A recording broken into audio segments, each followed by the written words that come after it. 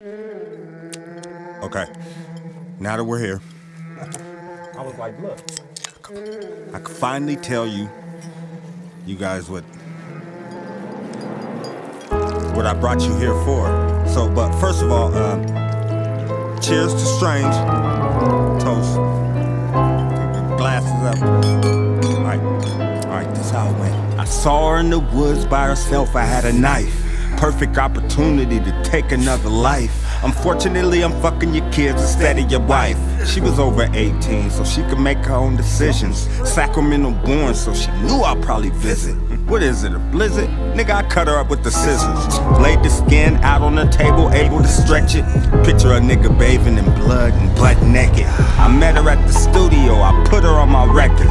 Told her I'd give her a ass cap if she turned up the black skirt, stuck a nine in her, pulled the trigger, now she gone and we eating her for dinner.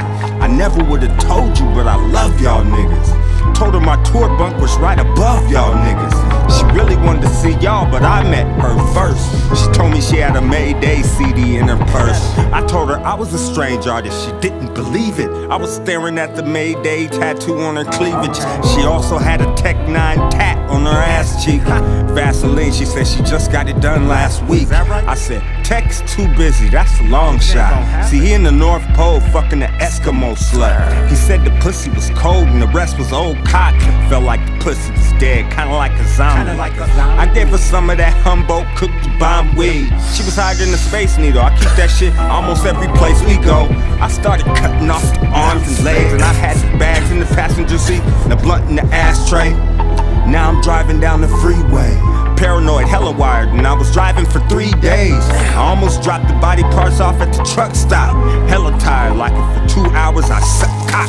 I couldn't focus, eyes hella blurry, I can't stop. Going back to Cali ain't an option, get got by the cops. So I came to Kansas City just to top the trav. Y'all was on the next thing smoking, now we eating meat. I'm on the news, did you see me on the ID channel? They got a story about me, it's called Bloody Candles. They said I murdered hella people and ate the bodies up. They had some six foot nigga play my body double. Fuck! Yeah, man. I swear he didn't even look like you, man. I couldn't believe it, man. Yo, what what you put in this food, man? This shit is fucking awesome, dude. I swear to God, man, this shit got me. I don't know, man. This shit got me feeling good. I'm really glad to be sitting at your table to break a bread with the mandible of black dog. And this animal flash is just a stab at the bastard. We expect no less from the gesture. Alright. And I seen her at the show other day locked up with the fuck me eyes. Morse code tap with a flash fill high and a pair of red socks that went up knee high. This meal is fantastic. Thanks for the invite, Lynch. Cheers to strange, too right. The snake and back to the shit.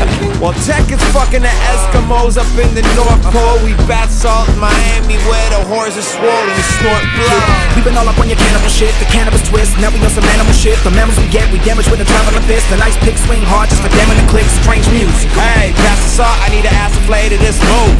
And this meat is a little too tough, Brotha Lynch. Might have been that you overcooked. Back to the matter at hand. I know you damaged the fan, which might cause concern. But at the end of the day, it's bros before hoes. They don't ever seem to learn, right, Burn? Well, it's true that the girl came through and got more than she bargained for. She had a body that was so damn thick, the thighs could rip apart your jaw. Scarred, hard, this broad was plenty backyard. So it's a shame he chopped her up, Lynch, but life is hard. And I ain't her bodyguard. Goddamn, the steak is charred. Pass me the whiskey, please, brother. I need to ease the guards. With a demon's claws, I scratch beneath the stars and give them another reason to be up and eating sacrifice and large. So we thank you, Brotha Lynch Hung, for this invitation, and we forgive you for the fan of ours you mutilated. On behalf of all of us in Mayday, here's our statement: We down to roll with you, no matter what the situation. So, the moral, I mean, you know, basically, I was trying to tell you guys, I mean, I just want to know, am I crazy Nah, nah, it's for for eating eating human meat? Wait, wait. You eating human Huh? meat right now? Did you guys? What yeah, you guys ate human meat. So, oh, tell me what you think. My stomach hurts. Human meat.